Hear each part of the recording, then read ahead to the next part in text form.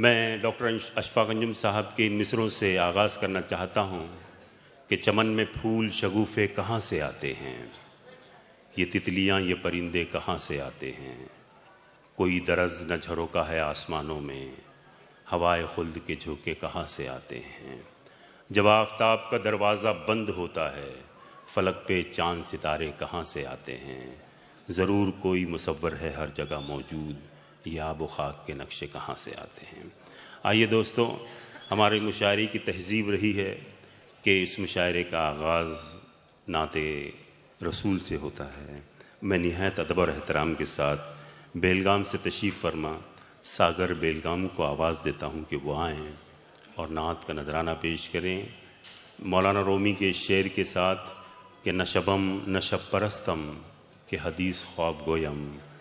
ہما، نشبم نشب پرستم کے حدیث خواب گویم چوں غلام آفتابم، ہما آفتاب گویم۔ السلام علیکم ورحمۃ اللہ وبرکاتہ۔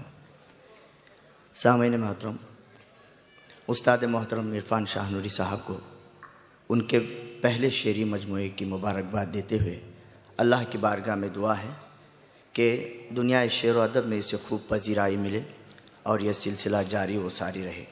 آئی بغیر کسی اضافی تمہید کے نعت کا مطلب سماعت فرمائیں۔ میری تقدیر پر آج کل یہ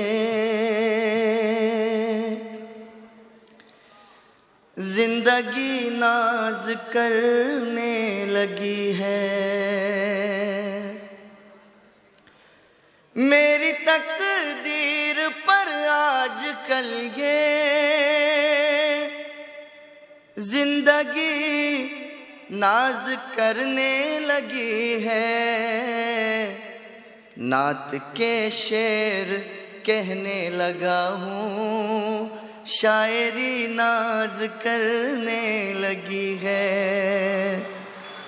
نعت کے شعر کہنے لگا ہوں۔ شاعری ناز کرنے لگی ہے۔ میری تقدیر پر آج کل یہ زندگی ناز کرنے لگی ہے۔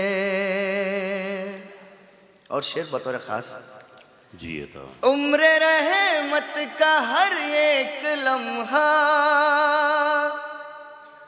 شمس کی روشنی سے بھی روشن۔ عمر رحمت کا ہر ایک لمحہ۔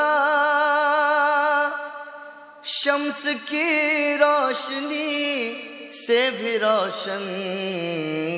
میرے آقا کے ترسٹھ برس پر ہر صدی ناز کرنے لگی ہے۔ بہت خوب سبحان اللہ۔ سبحان اللہ بہت بہت شکریہ۔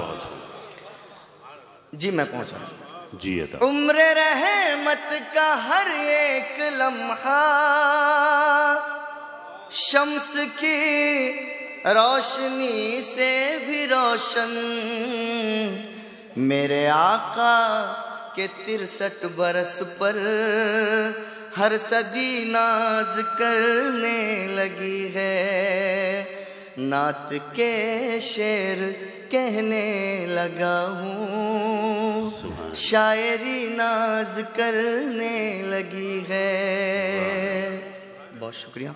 اور شیر دیکھیں کہ سو گئے تبتے صحرا میں عاشق۔ عشق کی چادروں میں لپٹ کر سو گئے تبتے صحرا میں عاشق۔ عشق کی چادروں میں لپٹ کر عاشقان رسول خدا پر عاشقی ناز کرنے لگی ہے۔ عاشقان رسول خدا پر عاشقی ناز کرنے لگی ہے۔ نعت کے شعر کہنے لگا ہوں۔ سبحان اللہ۔ شاعری ناز کرنے لگی ہے۔ اور مکتا سماعت کریں۔ جی اونٹ پر خادموں کو بٹھا کر آپ پیدل چلے آ رہے ہیں۔ اونٹ پر خادموں کو بٹھا کر۔ آپ پیدل چلے آپ پیدل چلے آ رہے ہیں۔ دونوں عالم کے آقا پہ ساغر سادگی ناز کرنے لگی۔ ہے سبحان اللہ۔ دونوں عالم کے آقا پہ ساغر سادگی ناز کرنے لگی ہے۔ میری تقدیر پر آج کل یہ زندگی ناز کرنے لگی ہے۔ نعت کے شعر کہنے لگا ہوں۔ شاعری ناز کرنے لگی ہے۔ بہت شکریہ۔